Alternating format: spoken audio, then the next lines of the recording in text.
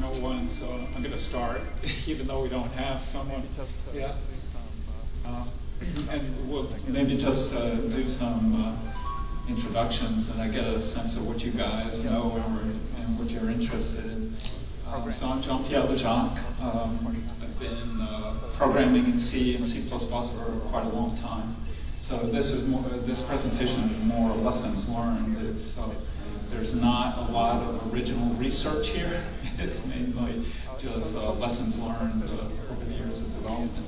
Uh, so folks, the folks that are here, uh, who is using C now? embedded application. Is it, and are you doing it for embedded applications or performance reasons? Plus as well, or Do you- Do you do C++ as well, or strictly C? I usually do. And C++? Um, I I usually do a combination of the two, C and C++. Uh, uh, I've developed uh, software for just about anything you can think of, uh, embedded to defense systems uh, where performance mattered a lot, where it didn't matter so much. Uh, kernel, some kernel-based development, so a whole range of things.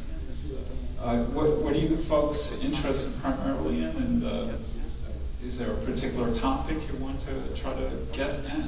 So if, if, as I go along, just jump Okay. in. So if, if, as I go along, just jump in at any point and, and ask questions. I'd like to be interactive if we can. So, uh, so uh, again, the disclaimer, this is fairly opinionated. So, uh, so uh, again, the disclaimer, this is fairly opinionated point of view. So uh, there's not a lot of original research to back up some of the claims here. I'd be interested to see what everybody else's uh, opinions of some of these things are. Um, so we're going to uh, mainly explore what I've observed in real production environments, uh, both open source and commercial. I'm going to try to talk about common patterns that people uh, like to use that are actually effective, and then the inverse, the anti-patterns. Hopefully, everyone's heard that term. Uh, common things that are advocated that are actually harmful for most uh, applications. Uh, just a little bit about me. I'm one of the founders of Quoin Inc. It's a software consultancy. We got headquarters in Davidson and uh, Austin in Nicaragua. Uh, we've been doing, I've been doing uh, this for a very long time, uh, primarily in Unix uh, systems, all types of Unix systems, and Linux uh, more, uh, more frequently nowadays.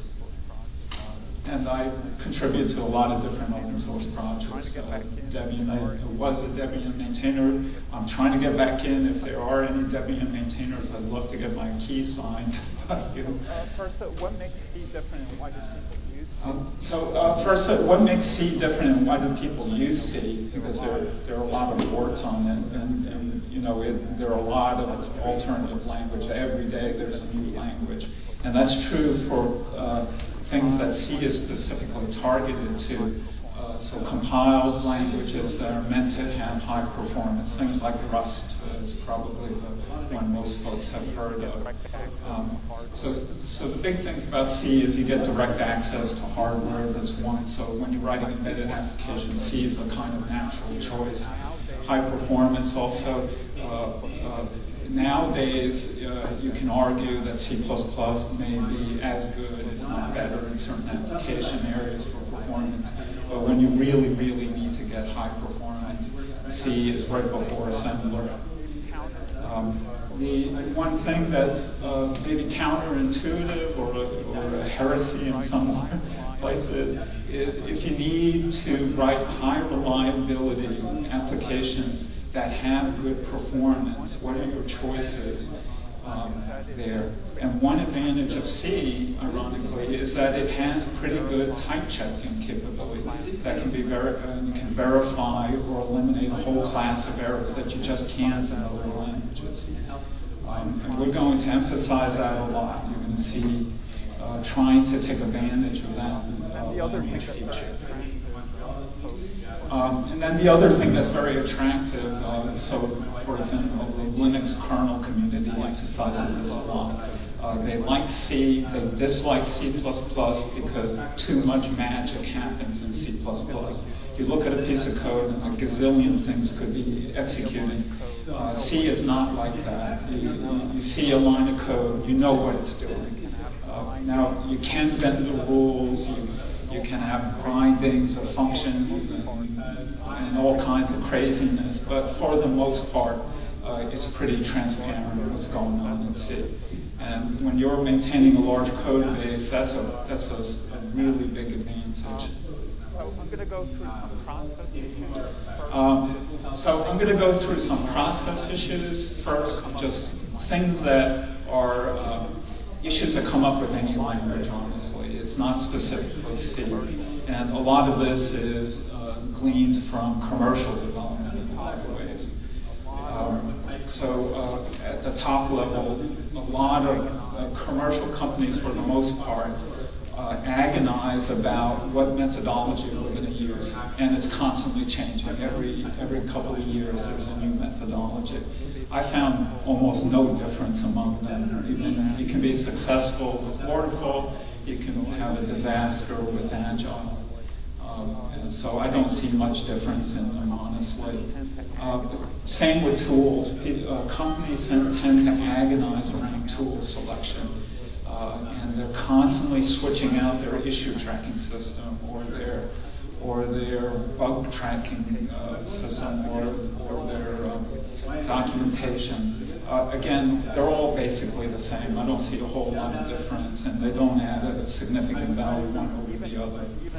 Um, uh, even, uh, even, and this might be a little more controversial, even source control systems, um, you can be effective with any of them honestly. So a good example of that is Debian. Uh, any of you Debian developers, maintainers who use Debian? Have you ever had to use their defect tracking system? Right? So their defect tracking system, which has been around a long, long time, incredibly effective, doesn't have a web interface. Use it through mail, email. That's it. Uh, works works great. People, it works very well. Every so often, someone comes up and say, "Oh, we should switch to Jira." Why not use Jira? And uh, there's so little value in doing that that it's not worth it. And then the thing that I hate the most is the Gartner reports. Uh, here's the new tool. Uh, it's in the upper right quadrant. Everyone should switch to that tool. And with very little to back it up. What does work is, uh, and we're going to talk a lot more about the different techniques to try to get high reliability, is you got to have leads and management that really advocate for what matters. And if that, if that isn't there, it's very hard to make uh, significant uh, improvements in your quality and security uh, profiles. That's probably obvious, but just to state, the obvious. Uh, another thing I see, uh, this again is more in the commercial realm than the open source, uh, open software uh, realm, because there's a lot of reliance on high-level architectures to solve everything. So, you know, one, at one point it was client server, then it was um, web services, and it keeps changing over and over again. And there's not enough emphasis on lower level design uh, problems. This is uh, the lower level detailed design is super important in C. You can hurt yourself so badly in that language by not understanding uh, features and the strengths and weaknesses of C. Uh, the other thing, and, and again, uh, our, unfortunately, our industry is fairly faddish, so there's constantly new, quote unquote, new stuff coming out all the time. Uh, essentially, I don't think much has changed since Dijkstra started doing all his uh, ADTs uh, and uh, structured programming. It's all basically the same. Um, so probably the folks in the that using C++, have you started using continuations yet? Yeah, that's a new um, that's a new uh, mechanism for implementing um, uh, an alternative to threading. Uh, it's been around since Lisp for essentially forever. and again, it's considered a brand new thing. Probably this is the most controversial slide. Uh, probably this is the most controversial slide I'm going to put. Um, testing. So you probably all read the trade rags and books and saying how important testing is in Arleta testing and unit testing in particular. I completely agree. However, I've had very little success in commercial enterprises of having testing adopted, unit level testing. They always rely on manual testing with a separate team. Um, it's incredibly expensive um, and, and very ineffective for the most part. Uh, the only exception to this rule is when I did work in the defense industry. There, they, they take it very, very seriously. Uh, all the other industries, I'm not very impressed. Um, uh, so, let's say that's an anti-pattern emphasizing testing a lot. However, you really do need to do it. It's really a question of how do you get it into your enterprise and, and make it effective. The, probably the most important um, uh, as examples. uh, And just, just uh, as examples of some, some war stories here, I've seen uh, very large code bases that initially had the right intention. They wrote very good quality tests, had fairly good code coverage, and two, three years later, the majority of the tests are commented out. Because the solution for a test failing is, am I going to spend some more time fixing the issue, or am I just going to comment it out? And unfortunately, uh, it often happens that people just comment out. Uh, and I see this both in commercial and unfortunately in open source software. So I, I help, um, I submit a lot of patches to GNU Make as an example. Uh, has anyone looked at the source code for GNU Make? So they actually have a fairly extensive test suite, but for years it was not executable, completely un, unused and languishing for a good 10 years. Now they've brought it back up. It's, and, and think of how important GNU Make is to the open source uh, community. To think that that did not have an adequate test suite is, is really astonishing. As a counter to this, Um, as a, as a counter to this, and, and what I'm going to be promoting a lot in this slide, is uh, reliance on static analysis, uh, both the, taking advantage of the language features as well as the tooling that's now available. Uh, there, you don't have to write any code, any special code. Uh, you don't have to um, uh, browbeat people to run their tests. If you're going to compile the project, you have to pass a static analysis. And we'll, we'll talk more about that. uh, issue that comes up. Uh, documentation is another uh, issue that comes up. Um, I've seen both ends of the spectrum where you have waterfall or um, SDLC types of uh, development processes that have very detailed uh, documents. They have 50 different document types. What, um, they spend a lot of money putting them together, and then they often uh, either bit rot or get lost in the SharePoint uh, world, or uh, or they're never updated. They're simply never updated. Uh, even when you have pretty good documentation, my my uh, unfortunate uh, experience is is that people rarely read them anyway. It's only as a last resort kind of thing. People read code, developers read code, um, much less the actual documentation. What, what I strongly recommend here is keeping the documentation alongside the code and version control. Um, and fortunately, the open source community has been very good at doing that. And, um, and then the other part is document within the code itself. So tools like Doxygen, everyone uses Doxygen. You should, if, if no one's not using it yet. That's, that's your best chance of having, um, having decent documentation of the API. Is it like documentation by comments or something? It's uh, essentially uh, uh, annotated comments. that uh, are parsed along during the compile phase, and you can generate HTML or, or any number of different formats. I'll, I'll show some examples of that. Uh, continuous integration, probably everyone realizes, everyone uses CI. Yeah, thank you. Um, the, uh, I, I, think that's a great idea. The basic idea behind continuous integration is you're constantly building your applications to uh, identify a compiler and ideally test failures as soon as possible. Um, I've, I've, had very good success both in commercial and open source projects on using CI. The, the only thing I would uh, warn about is often it's kind of a two-edged spectrum. In one way, they don't use it enough. We should be using CI to have various, uh, test various types of variant builds as well as different platforms. So an example of what I uh, highly recommend is always target the next environment that you're going to deploy on. So you have your current production environment, say you're on Linux uh, 4.5, the current, that kernel, and uh, GCC uh, 6. You should also be compiling with kernel 5 and GCC 9, just so you're ready and, maybe more importantly, you can take advantage of all the added uh, functionality that GCC 9 provides, which is astonishingly better than 6. Um, next uh, quick thing is on standards. Um, next uh, quick thing is on standards. We're going to talk a little bit more in detail on C standards here.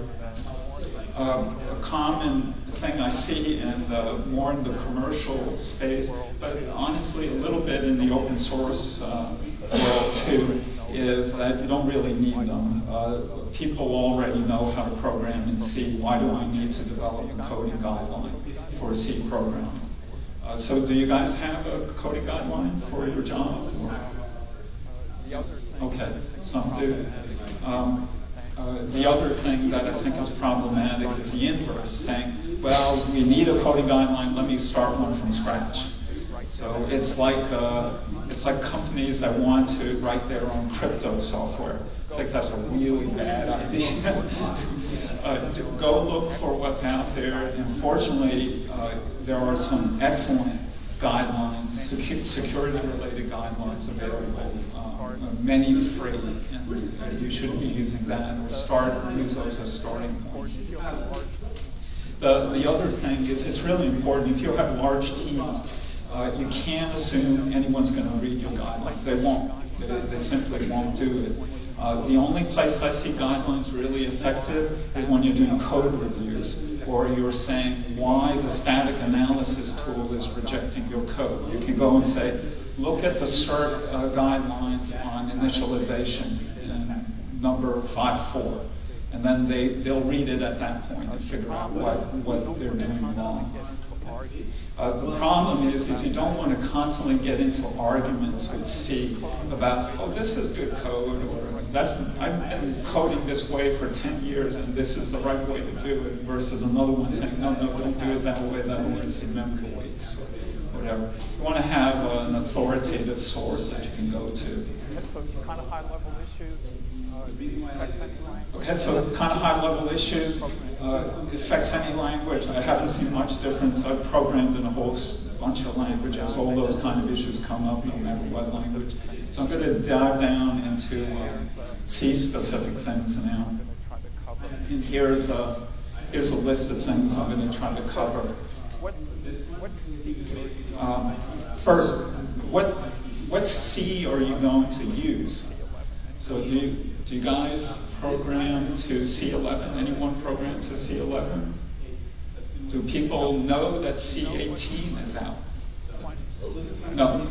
Do you know what's in C20, 2x? No. Most people, C programmers I see, are barely up to C89. And they're still, so for example, um, can you declare, where can you declare variables in a function? That's right, exactly. Since, since C89, you've been able to mix your declaration. The vast majority of C code I see still tacks on all the variables at the very top. Uh, why, why is that a problem? Well, you're increasing the scope of the, of the variables unnecessarily, and you can't initialize them to a sensible value. So everything gets initialized to zero or null, right? Or I, I like to initialize my pointers to uh, AIX uses dead beef as the hex value. Um, so, uh, in, in some ways, uh, C has gotten trapped into one of the nice things about C that it's a it's a, um, a stable language that people know and that is available on any platform you can think of.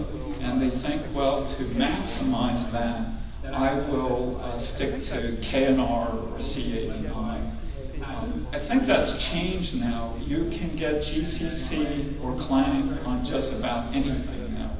And if your vendor doesn't support this, uh, more modern variants of C, uh, just switch to those and tell them I'm going to switch unless you make, make the thing.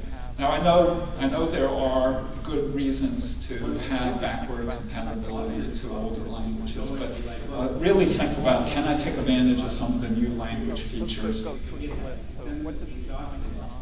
So So just to go through the list, so what does C99 add? Um, inline functions. Do you use macros for, do you use function macros? And do you use it for performance reasons? There's no good reason to do that anymore. You get complete type checking with inline functions, been available forever, um, since, since C99.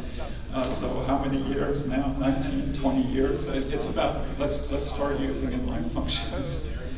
Um, you can intermingle declarations in code, a whole bunch of new types. Bool, finally, we have a bool, so we, we don't have to be embarrassed using C. Um, we now have, if you need to write highly portable code, don't invent your own type defs for different size of integers. Uh, there's a standard for those. Um, people familiar with the restrict qualifier? Uh, the high performance guys that don't use restrict? If don't, you should be. Uh, that's, uh, what that does, it determines the aliasing of pointers. And that makes a, a tremendous, uh, really a tremendous difference in performance for high performance computing, especially engineering scientific. That's a one big advantage Fortran has about over C, is that everything is unaliased in Fortran. In C, you have to, by default, assume everything is aliased, so you can't make uh, certain optimizations. It's been available for a long time. The C library is fully constant restrict safe. The POSIX library is almost fully posit, uh, constant restrict. And you, you can write code. It's not that hard. I know a lot, there are a lot of guidelines that say restrict is too complicated, but if you're using C, you can figure out restrict. Uh, anyone know, can you, can you declare a function where you can ensure that you have at least a certain number of, of elements in an array? People know that syntax? No? Okay, let me show you what you've been missing. So I'm gonna, I'm gonna jump around in code. So, uh, here's a little fun, can, can, is that readable to people? Okay. Accumulate is a function Um, that takes, uh, The, uh, accumulate is a function that takes uh, an array of unsigns. And I want to ensure that I get a certain number, at least five elements in the array. Um, the syntax to do that is you declare the, inside the square brace, you use a static keyword, and then the size that the minimum size that it has to have. The compiler would then check that you're not passing a pointer, you're actually passing an array, and the array at least has at least five elements. no one, I've never. Anyone ever used that? real Code with this. No, no one. I've never seen real code with this, though it's been around since, you know, 20 years ago. Uh, I just, I just simply don't understand why this isn't used. This would eliminate a major source of, of um, bounds errors, uh, uh, security-related buffer overflows, just by this simple thing, and it's caught at compile time, not at I runtime. think so, I think so, or have to. Uh, I think so. I think so. Or we have to have more presentations like this, or I, I don't know what it takes to, to do it. Now, there is one disadvantage to this, uh, and I sometimes don't use it uh, for this. This is not in the C language, the C++ language. So this is one of the incompatibilities, and there are not many, but this is one of them, incompatibilities between C and C++. It will fail. It will fail. This is not legal syntax in C++. So let me show you what the compiler will do. I'm gonna use Clang, you can use GCC. So um, I'm going to use Clang, you can use GCC. So I just looked at a, a file that had um, standard six four four permissions, uh, read write. That's what would look like if Okay, you just so, uh, have a file and I'm then. just gonna run through these options. Okay, so um, uh, I'm just going to run through these options. I'm going to go into this a little bit more. Um, Clang understands, uh, actually it calls it C++ 17, C17 instead of, instead of C18. Clang implements C18 now. Uh, so there is no reason not to start using some of these features.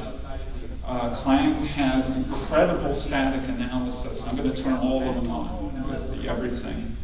Um, to get maximal coverage of the static analysis, you have to use optimization. That enables flow control, um, um, path flow analysis. I'm also going to enable the address and undefined sanitizers. People use the sanitizers. Really helpful. No, no one's used them. People use Valgrind. sanitizers or valve Okay. runs. Some, some folks, uh, the sanitizers or Valgrinds on steroids. Uh, so for example, Valgrind can only check dynamic memory errors. The address sanitizer checks any kind of memory error. So stack, uh, stack-based uh, variables, arrays that you overflow, uh, this will catch them. Okay. have, uh, Clang. Find my I have uh, Clang 7, I think, installed here. Clean that up so you can see it. Okay, so let me clean that up so you can see it. Okay, so I'm gonna get a warning from this. Okay, so I'm going to get a warning from this. Calling requires at least five elements, so I passed in an array that was too small. So that was uh, line 41. So here, here I have an array that's too small. So here, here I have an array that's too small, just right, uh, not really too big, it's, it's big. Um, An array that's bigger than the minimum is fine, you can pass that in. And I got a static check of too small, eliminated a buffer overrun at compile time. And, and this is the point I want to try to make is so- has evolved. And, and this is the point I want to try to make is C has evolved, and where it's evolving is to get more and more type checking enabled at compile time in the language, both for performance reasons and for correctness and security uh, C11 added a reasons. whole slew of new features. Uh, C11 added a whole slew of new features. Uh, people are familiar with the assert feature from K&R. People use the static assert. Okay, so static assert was adopted from C++. It's a compile time assertion of something. So, for example, if you want to guarantee that your unsigned is a certain number of bits. You can do that at compile time, not at runtime. Uh, there's multi-threading. They have So we now have standard. uh, there's multi-threading support, so we now have standard uh, cross-platform threading available. You don't have to rely on POSIX threads on one, for one platform and Windows threads on another platform. You, you now have consistent uh, threading library. Uh, people familiar with uh, templates in C++? C++ has templates for many, many years, uh, from the beginning. C++ has had templates for many, many years, almost from the beginning. C now has something almost equivalent, and they call them generic functions. And it's a general mechanism where you can have function overloading. So you may have seen in the C99 library that you have POW for longs, doubles, and, and different kinds of floating point types. Uh, but they're named the same. Before you had to have a POW L, a POW D, a POW LD. You don't have to do that anymore. So you have the equivalent of function overloading in C. This is a feature that's available for you, not just the standard library. Uh, for the performance-related folks or the embedded system, there is now a standard way of specifying memory alignment.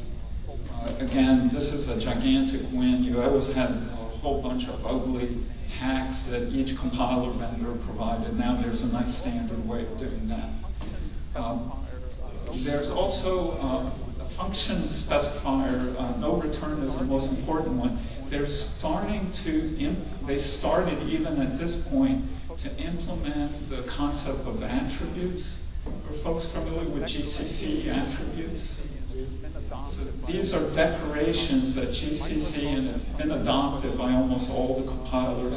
Microsoft has something equivalent um, that's, uh, that you can say in your code uh, something about a function or type. So in a simple example in GCC, you can say a pointer parameter cannot be null. And I'm going to show you examples of that. This is a, a, something similar. You can say this function doesn't return, and the compiler can do extra checks and optimizations based on that. Uh, people use variable length arrays. Good, should be. uh, they were introduced in C99. They are now marked as deprecated in C11 um, and C18, and hopefully will be gone in C20. Model that's very similar to Um, They now have an updated memory model that's very similar to the Java memory model. So we now have a well-defined memory model that's incredibly important for threading, especially. Um, again, we should be uh, using that, and it's also compatible with C++. And in general, there's just better compatibility with C++. Just try to align with languages, if that matters for you. Fix a really low. There's uh, C18, that's mainly a bug fix. There are really no new features in it, so if you didn't know about C18, that's okay. There's nothing really there except cleanup. Code name for the next release. C2X is the code name for the next release. Um, that's coming along uh, fairly quickly. They've already approved a lot of features. For example, uh, anyone in the financial industry here? I know Constantine is. So, um, how do you do calculations in money in C? Usually have Integer, first, With, integer. with integers, and you usually have to manage. So, first, first rule: never use flo- floating point numbers. Right? Float double or numbers, bad idea. Um, integers are o- okay, but you have to manage a lot of the semantics yourself. There's a new type, bi- uh, binary floating point, um, which implement uh, correct semantics for money. Um, and it's a, a, a gigantic uh, win for, especially if you're doing financial-based applications. There are other areas where it's useful too, but in the financial world, it's particularly important. Um, uh, I know like XLC supports this now. I'm not 100% sure if GCC or Clang. I don't think Clang does. GCC might have an implementation as well. going to get rid of K&R function declaration. Um, finally, they're going to get rid of K&R function declarations. Maybe the most- Please, yes. Uh, maybe the most interesting thing, especially when I'm going to talk a little further, is they're now considering adding a new calling convention for functions where you can use the return, it not overload the return to both return a real value and indicate an error, which is what was commonly done in C now. Um, there's a number of different proposals how to do this. This is very similar to what's happening in the C++ world, where they're exploring a similar thing to replace exceptions or, or to uh, as an adjunct to exceptions. This is, I would love, dearly love having this feature in the language. This would be one of the nicest things. So, for any of you Go programmers? Okay, so if you know, if you don't Go, this is a similar kind of concept. You can have multiple return values. that traditionally use it that one of the things you return is some kind of error indicator. Uh, this will be equivalent kind of thing. uh, um, there's better uh, integer constants. So if I have a constant in C and I initialize it, can I use it to declare the size of an array in C? Can I do that in C++? Yes. No. Can I do that in C++? Yes. And that's because there's a different uh, interpretation of what is considered uh, an integer constant expression. And they're trying to align it more with C. This is one of the few places where you still need to use macros in C. It's just to size arrays. So this would be a wonderful thing to have. Uh, another thing they're uh, considering bringing in is the type deduction facility that C has. Uh, and any of you use the auto? I know people probably remember auto from K&R. Uh, auto in C++ has been repurposed. It's no longer the original meaning. It's now used for type deduction. Uh, they're considering bringing that and see that would be a game changer to and make uh, declarations much much simpler and more reliable. K from C11. And anyone heard of Annex K from C11? There's a state function, like printf underscore s. Yeah. historical event. That's right. Uh, that came from the Microsoft world. So it's stir stir copy, for example. How many ways can you misuse stir copy? Lots and lots. And this was an attempt to make it safer, a safer stir copy. But it has had almost no adoption because of some major design errors, frankly. I, I don't recommend using it myself either. So they're considering dropping it Okay. from the So language. which language, which variant of the language? Okay, so which language, which variant of the language you're going to use? I would recommend at least using C99. Uh, it's, you can get C99 on every compiler now.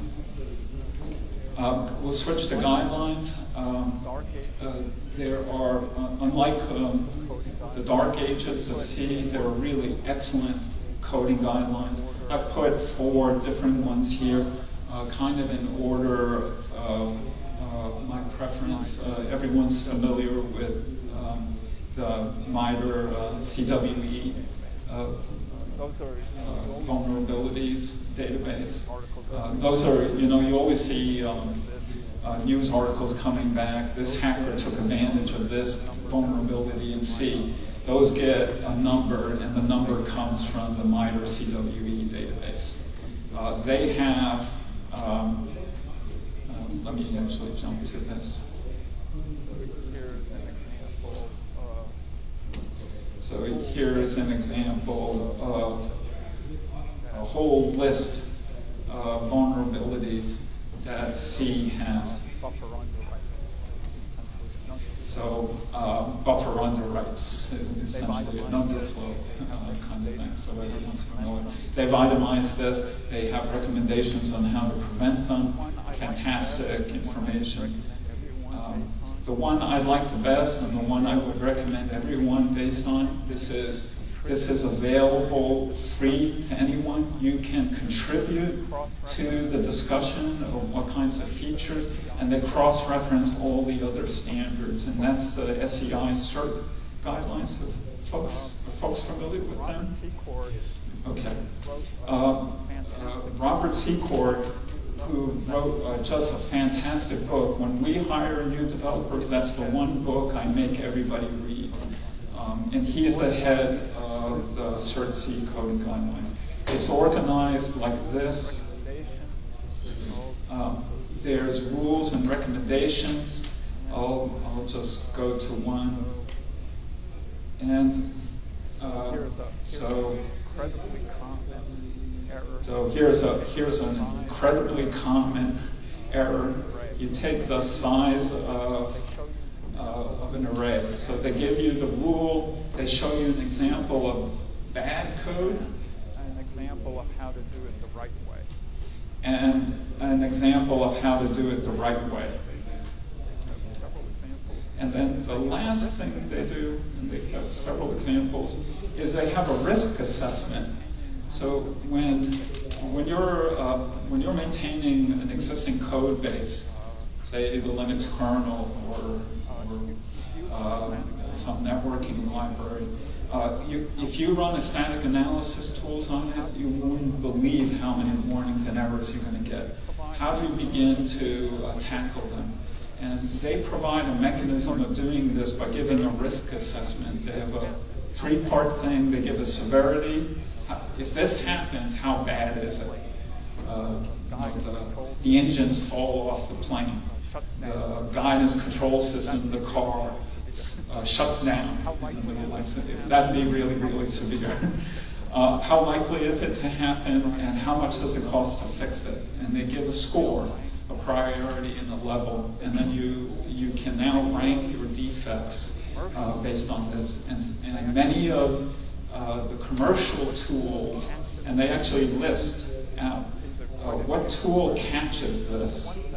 So you can see there are quite a few commercial tools. The one thing, and, and this is something I've been attempting to get to, is they focus on commercial tools and less on open source tools. I would love to see, here's the GCC flag to enable to catch this error. And you can. Uh, GCC is capable of catching many of these. And use that tool first. Secure coding. What was the book again? Program. secure coding in, in the C programming language, something like that. Make sure you get Uh, go to the MITRE C, uh, site. Guide you through. Uh, make sure you get the latest edition. They, they guide you through how uh, uh, uh, an attack, and, and a real attack, something that was actually used, how it's done, how do you get root from a buffer overflow. He shows how that's done, and then how do you protect against it. It's, it's just a fantastic book. Yeah, question. They skip some chapter numbers. Have you noticed? They're like one, two, three, four, five, and then jump to forty-eight. Really? Uh, if you go to the To the main page? main page, right? Oh, 50, Yeah. 51. Go, yeah. Oh, 50, 51. I don't know. Yeah, I don't know what, it- why they did that. The space. for They reserved it for, uh, iOS. yeah, they don't have Mac OS here and uh, iOS. We need to get those in. Um, They do, they do, their POSIX uh, rule set isn't great. They could do more. Windows is much weaker too, unfortunately. They really should add a lot more uh, around there. They- But in general, it's, it's really comprehensive. And they have, their wiki allows you to enter comments and say, you know, I strongly disagree with this, here's a better way of, of expressing this rule or whatever. Uh, MISRA is uh, is the uh, Motor Industry Software Reliability Association, that's what that stands for. They uh, publish a very good standard for, they have one both for C and C++. Uh, It's nowhere near as good as the SEI, and it costs uh, a bit of money, not, not a whole lot. The ISO is also problematic in that you have to pay a couple hundred dollars to actually get this back. Uh, For a company, it's, it's cheap uh, insurance, so I would recommend doing that. Coding guidelines try to adopt coding guidelines. Okay, so um, coding guidelines, try to adopt a coding guideline. Don't wing it yourself. There's been an enormous amount of research and effort put in. And I have to say, NIST, uh, the government sponsorship of these through NIST has been extraordinary. They've really done an excellent job to help uh, protect, uh, protect the U.S. market at least. things in C Uh. Now I'm going to go through some things in C that are really problematic, and I'm trying, and I'm going to kind of go through this in order of what I found most problematic in both open source and commercial. And probably the number one thing is the error handling in C is just horrible. It's just atrocious. Um, C doesn't have any standard way of signaling that an error has. It doesn't have exceptions. It doesn't have any of the list-based kinds of approaches you can take. It doesn't have uh, go to uh, the go uh, features of having multiple return types where you have a separate error channel. Um, on top of that, there's nothing forcing the caller to pay attention to a possible error. And if, if there's, if- I would say the number one cause of reliability and security issues is not checking the return uh, if a function succeeded properly after you called it. That happens all the time in um, both um, commercial and open source. And then the other part that if you do, if you are careful about error handling, it, the code becomes unbelievably verbose. So it's not like C++ or a language with exception handling where you have a try, you have a whole bunch of function calls and then a bunch of catches at the end. Instead, you end up with code that's uh, error handling intermingled with the main line uh, business functionality you're trying to implement. What about embedded environments, Yes, that's sometimes right. you don't want that done by intent. Yes, that's right. And, and a major com- a major complaint about C++ is you have to buy into uh, the exception handler, which uh, main problems there is you don't have guaranteed execution times, and the overhead is just too high. So uh, mm, I would say the majority of embedded people and game developers is another area, and, and maybe a little more in the, you know, also in the high performance community, they don't use exception handling. So You're having that kind of negative sometimes that's that's it, that's that's exactly right. So so you have a trade-off here of uh, what am I going to emphasize? Yeah. And I, I'm going to show you some techniques to try to get around that, but it's not pretty either, honestly. So here are some different alternatives in C, getting back to, okay, I don't have exceptions, what do I have? Uh, the, a very common paradigm in the C world, and, the, and you'll see this in both the C library and the POSIX library and Windows library, is functions return error codes. Um, so um, However, uh, they're all over the place. Um, however, you'll often see that a function will overload what it's returning um, a, a real, a real useful value with some kind of way of signaling that an error has happened. Um, this is called, uh, this is sometimes referred to as overloading the, the return channel. Uh, I'll show you some examples of how hideously ugly that becomes in C, in the standard library. Uh, the other common thing is to use a global um, variable. errno is, is the most common one. Um, uh, that's been uni- uniformly panned as a bad idea now. Sounded like a good idea a long time ago. From a performance point of view, it's very problematic because you can't define pure functions. All your functions have side effects. And, and because of that, the compiler can make certain optimizations. And then uh, some more uh, clever things that people have tried to do is to use callback functions, and the Annex K attempted to do that, and I think that's a major reason that Annex K was not adopted. People uniformly think that's a bad idea now, too. Okay, so, um, Okay, so um, uh, I'm going to give some uh, exam, uh, some recommendations here and show you some code. Um, if I was to focus on one area to improve the security profile of my programs, it would be this. Uh, define a good error strategy. What, what is the model are you going to use? Are you always going to return an error? Are you going to designate a parameter as returning an error? Or are you going to rely on error mode, something like that? Just be, pick one, be consistent, use it, uh, use it consistently. Uh, if you do decide to um, to uh, uh, return an error value. Consider using the GCC warn unused result attribute. Folks use that? Have, have you turned on enough of the warning level high enough in GCC that you get it triggered on the standard library? The, G, the glibc, almost all the functions that return an error code are now annotated with this.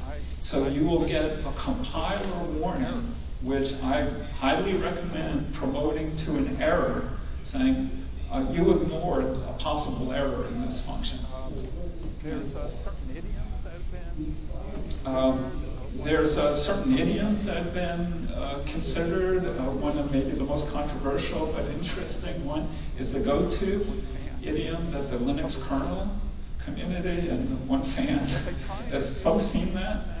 How they do? So what they're trying to do is implement RAII, resource acquisition is initialization from the C++ world, where you get automatic cleanup um, by simulating it in GoTo. I'll show more examples of that later.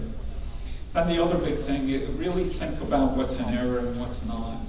This is, uh, that's probably more than we can do. So let me, let me switch back.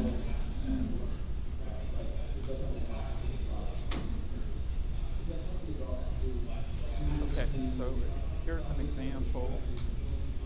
Okay, so here's an example. What if I have a string that I want to convert to Um, what if I have a string that I want to convert to uh, an integer? What do, what do folks use for that in C? say, uh, to I, right? Everyone uses A to I. Anyone use something else?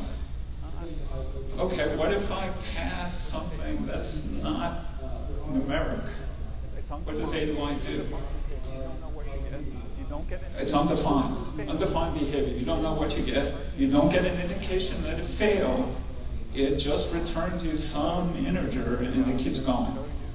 Um, so let me uh, let me show you that by, and this is an example of the disaster that error handling is in C.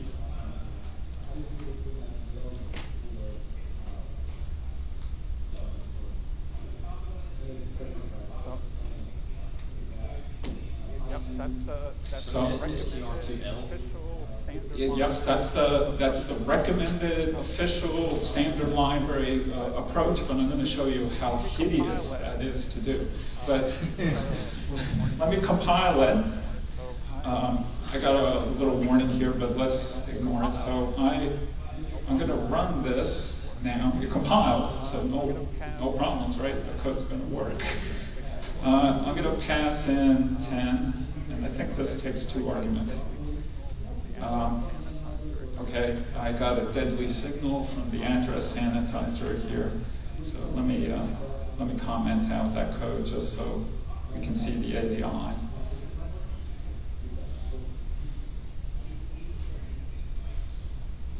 By the way, uh, By the way, uh, probably not going to have time to go through this. The address sanitizer shows exactly where the memory error happened. You don't have to hunt and peck any place. It is a hundred percent reliable. Well, I shouldn't say 90, 95% reliable. It's incredible how good the address sanitizers are in GCC um, and Clang. Uh, so there's no reason you shouldn't be using them. Definitely, please, please use So I them. got it, so I'm gonna run it now. Okay, so I got it, so I'm gonna run it now. So it, it took a hundred, that worked. I got back to I'm going to pass A, B, C. And I got back zero. Oh, of course, I entered zero, right? What if I give it a really monstrously long number? Oh, it gives me minus one now. Okay? And, and your code just keeps going on. It thinks everything's okay. The alternative and the recommended approach and even the SEI recommendation is used is to replace atol with atoi with strtol. and stir to LL and there's a number of variants to it. But the error handling is just atrocious because you get an integer back but to figure out if an error occurred, you have to go through this machinations.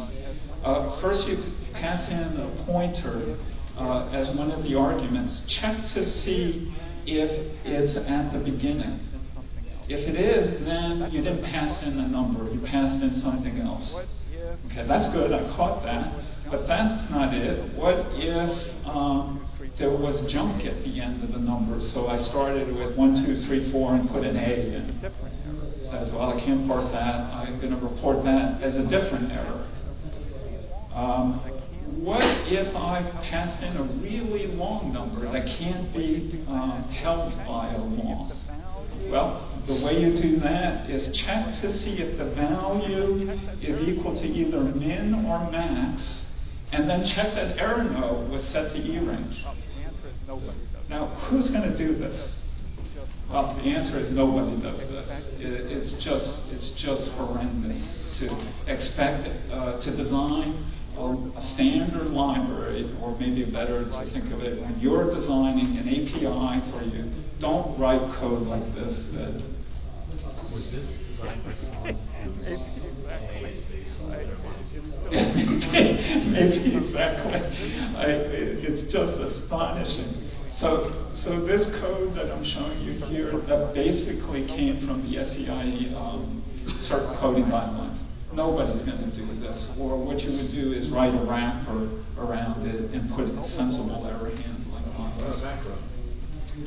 Oh, or, or a macro. Now you have two problems. Yeah, the C++ is much nicer in the sense of S to Y to throw exception. Yes, um, here's, um, let me show a recommendation. Uh, here's what I would recommend is putting a wrapper around horrible functions like that. So folks are familiar with the system call in C standard library. Um, it's just calling a function by launching another process. Anyone ever look at the how you signal errors in it? Again, it's it's a nightmare. It, uh, this is what you have to do. Um, so I- I'm just going to jump to the implementation here. Okay, so you first call system. First check to see if minus one was returned. Um, uh, excuse me, if, if it, uh, minus one was not returned. Then at least uh, the system thinks it worked okay. Uh, you then need to see, get the exit status, and then see, co- and these are three different macros that are defined by the POSIX API, exit status, exited, and signaled. Because while the program was processing, it might have gotten interrupted by a signal. And you need to know that because it actually didn't do what you asked it to do, but it returned anyway. So what do you get back? You don't get an error, you get this funky, crazy thing. So um, here's what I recommend, and this shows you how to use Doxygen as well to annotate code.